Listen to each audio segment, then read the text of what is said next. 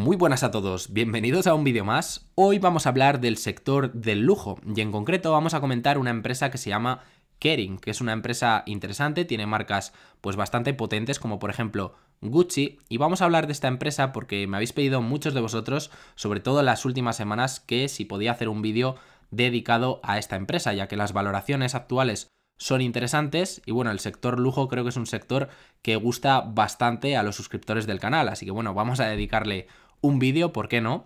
Es una empresa, como os digo, que está a valoraciones más bajas que otros pares, como puede ser, por ejemplo, Louis Vuitton o Hermès, pero también creo que estas otras dos empresas están uno o incluso dos peldaños por encima. Vamos a ver que es una empresa Kering que está en un proceso de transformación o de transición para convertirse en una empresa centrada 100% en el lujo, pero esto no siempre ha sido así. Así que bueno, sin perder más tiempo, Vamos con el vídeo. Kering es un grupo francés, al igual que otras empresas de lujo, como por ejemplo Louis Vuitton, la cual por cierto tenéis comentada en un vídeo que hice recientemente en el canal. Hemos hablado pues muchas veces, como ya sabéis, de esta otra empresa y posee algunas marcas importantes como por ejemplo Gucci, que seguramente conoceréis, como por ejemplo Saint Laurent, Bottega Veneta o Balenciaga, entre otras, ¿vale? Aquí os he puesto a la derecha pues algunas de las marcas que posee esta empresa. Y como os he comentado, está en una transición para convertirse en una empresa centrada 100% en las marcas de lujo. Actualmente la tenemos cotizando sobre los 509 euros por acción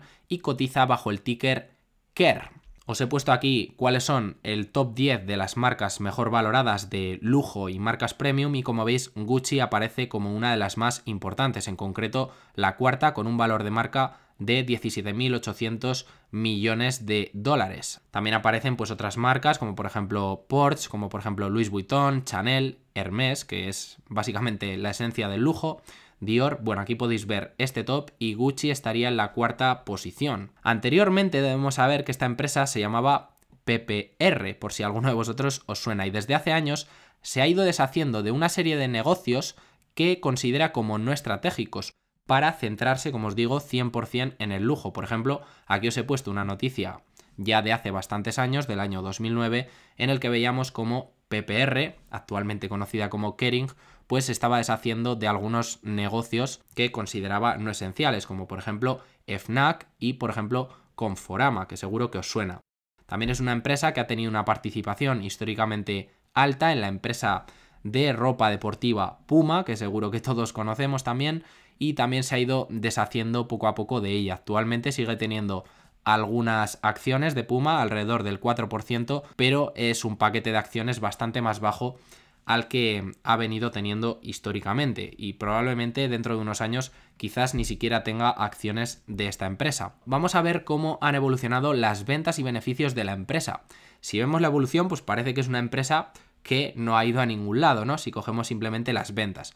Pero ya os digo que es que esto hay que cogerlo con pinzas, porque realmente si vamos a los datos de 2007, 2008, de estos años que nos aparecen aquí, pues vemos que están niveles de venta similares a los actuales, pero la empresa ha pasado por un proceso de desinversiones. Entonces ha vendido, ya os digo, eh, negocios como los que acabamos de hablar, se han reducido las ventas, pero a cambio se ha vuelto una empresa mucho más rentable y no tiene nada que ver Kering lo que es hoy con lo que era igual hace 15 años. Porque ahora sí que creo que cada vez más es una empresa de lujo y antes no lo era. De hecho, vemos una potente expansión en los márgenes desde el 7,49%, que eran sus márgenes operativos del año 2006, hasta niveles del 27% en los que se mueve actualmente. Entonces, vemos que es una empresa muchísimo más rentable y que no tiene nada que ver.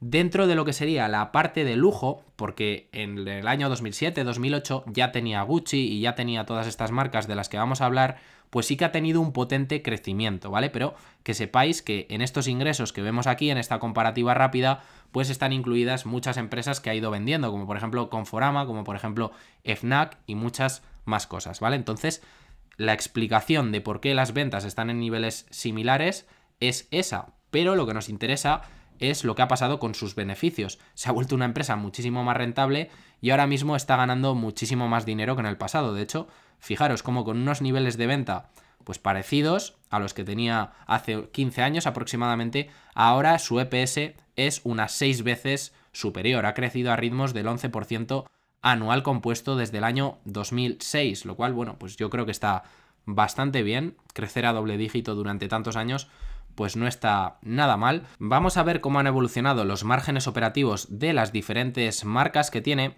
y en este caso lo vamos a ver con una diapositiva, una gráfica que le he cogido prestada a mi amigo Manuel Fernández de su presentación que hizo o de su artículo que escribió en Sekin Alpha sobre la empresa, ¿vale? Se la he pedido prestada a Manuel y me ha dicho que la utilice en el vídeo y podemos ver cómo Gucci, que es su principal marca, Actualmente tiene unos márgenes operativos bastante altos, del 35% aproximadamente.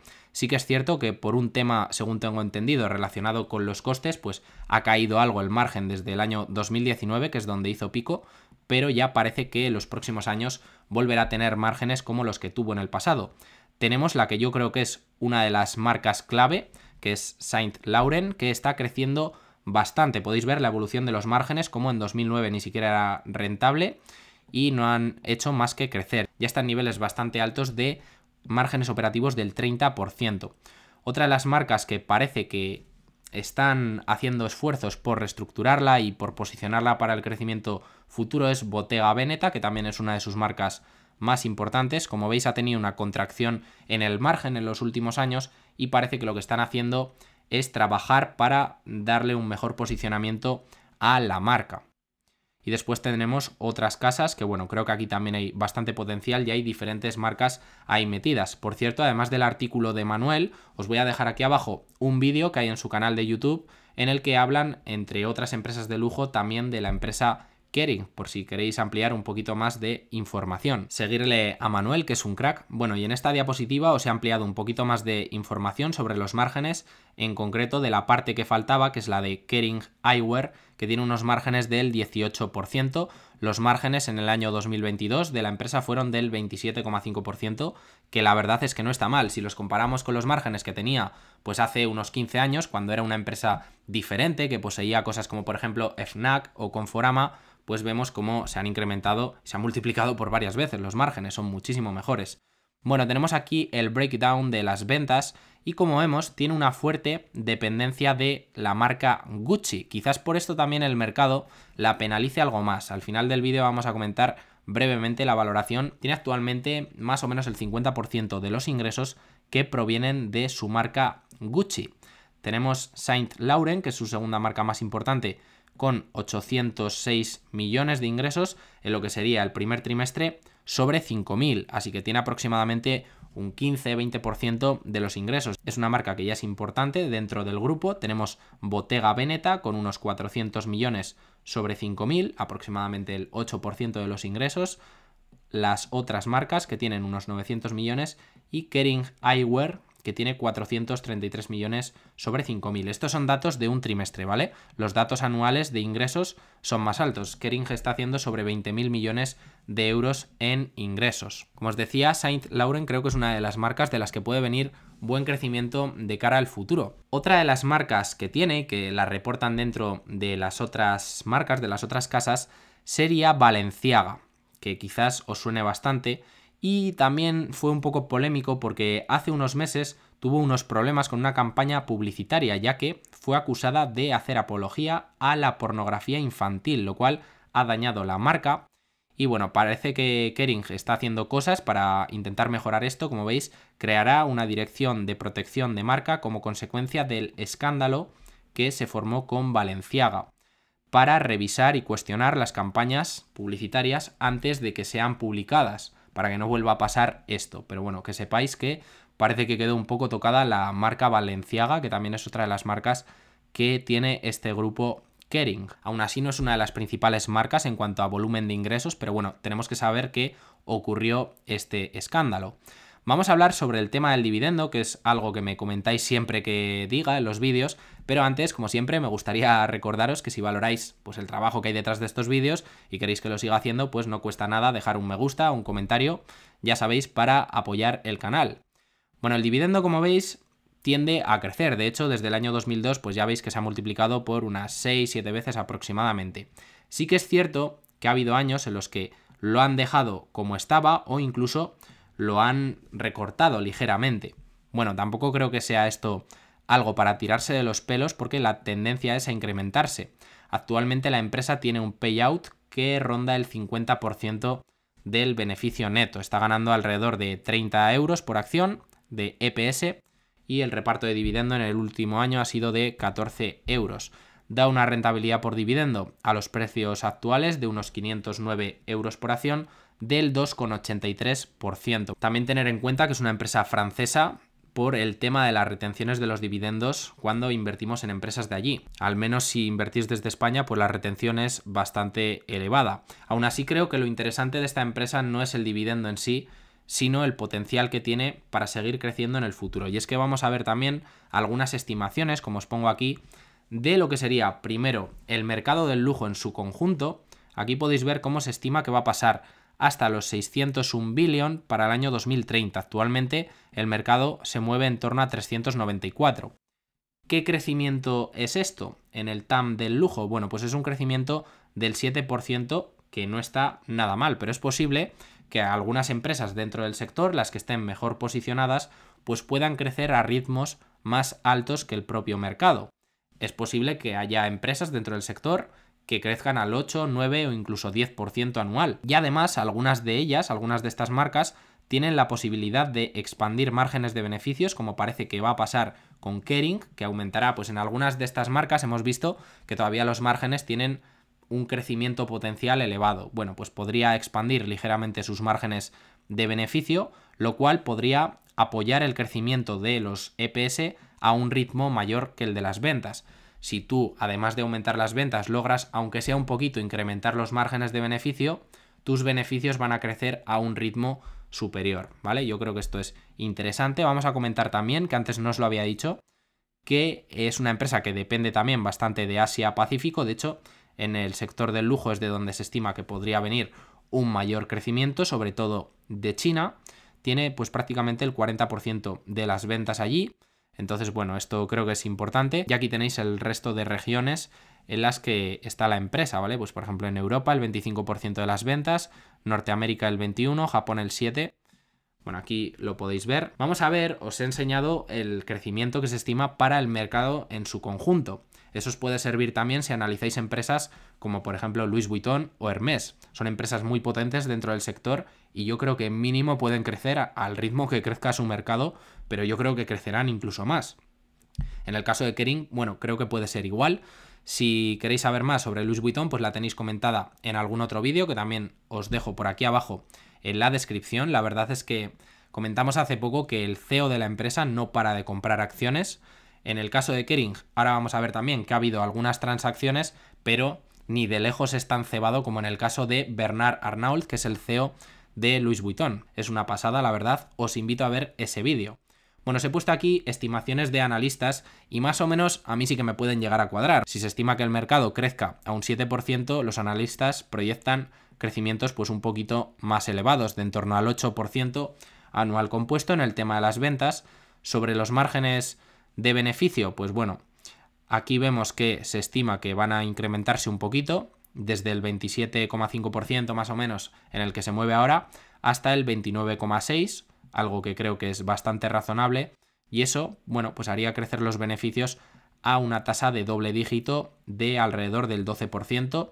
Creo que son estimaciones razonables. El free cash flow se estima que crezca alrededor del 7%, bueno, sí que es un nivel más bajo que el crecimiento de los beneficios, y el dividendo por acción se estima que crezca a un ritmo superior, más o menos del 14%, y mantendrá un payout en torno al 50% parecido al que tiene en los niveles actuales.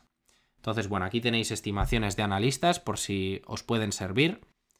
La verdad es que yo creo que son incluso conservadoras. Sobre la situación financiera de Kering, pues bueno, creo que es bastante correcta. Tiene un ratio de deuda neta EBITDA que está en niveles históricamente bajos, por debajo de una vez EBITDA. Tiene aproximadamente 5.800 millones de deuda neta. Entonces, bueno, creo que es una empresa que está bien desde el punto de vista de la salud financiera. Es una empresa que además el CEO tiene alineación con nosotros y el mayor accionista es la familia Pinault, al igual que sucede, por ejemplo, en Louis Vuitton, que tenemos a la familia Arnault al mando y son los mayores accionistas, bueno, pues aquí tenemos a la familia Pinault, que tiene más del 40% de la empresa. Y además, pues bueno, estuvieron comprando algunas de las acciones. Si miramos las transacciones de insiders, es cierto que en los últimos meses no ha habido ninguna, pero sí que hubo en el año 2022, hace aproximadamente un año, en el mes de mayo, en el mes de septiembre, y aquí podéis ver los precios. Estuvieron comprando a 578, hay aquí una transacción, a 452. Actualmente las acciones están en 509 euros en el momento de grabar este vídeo y si seguimos bajando, pues anteriormente hubo algunas compras importantes de varios millones de euros por parte del CEO en torno a 600 euros por acción. Entonces el CEO estaba metiendo bastante pasta en niveles un 20% superiores a los precios de cotización actual. Si echamos un vistazo rápido al PER, que nos calcula ticker de la empresa, estaría cotizando en torno a 16 veces beneficios, que bueno, viendo cómo cotizan el resto de empresas del sector del lujo, que cotizan bastante por encima, pues parece una valoración bastante interesante. Quizás ya os digo que esta empresa en parte pueda estar penalizada por la mayor dependencia de Gucci, también por el tema que pasó con Valenciaga.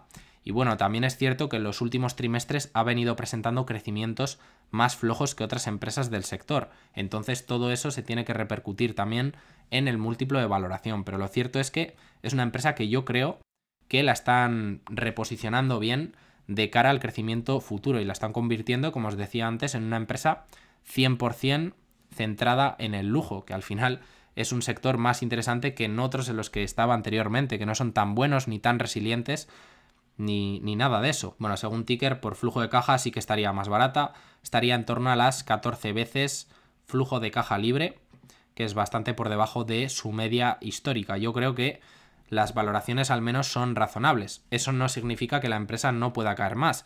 Recordar también hacer vuestro propio análisis. Pero bueno, lo cierto es que parecen valoraciones razonables. Es una empresa que yo creo que seguirá estando de aquí a muchos años, tiene marcas bastante potentes, como hemos visto, y está en un sector que creo que es bastante bueno y resiste bastante bien las crisis, así que en caso de recesión creo que también podría hacerlo de manera correcta. ¿Y qué pensáis vosotros de la empresa? ¿Os gusta el grupo Kering o no os gusta esta empresa? Bueno, en otros vídeos, si queréis, ya hablaremos de alguna empresa más de este sector, que ya os digo que parece que os gusta bastante por los comentarios que me dejáis. Quizás algunas empresas interesantes también pues puedan ser Hermes, Ferrari, empresas de las que no hemos hablado todavía en el canal, pero sí que es cierto que las valoraciones en esas empresas son bastante más elevadas. Moncler es otra empresa bastante interesante que tampoco he comentado, así que bueno, las trataremos en vídeos futuros. Y nada más, sin quitaros más tiempo, me despido ya de vosotros. Recordar que podéis dejar un like para apoyarme, suscribiros al canal si todavía no lo estáis, y nos vemos en el próximo vídeo. Un saludo.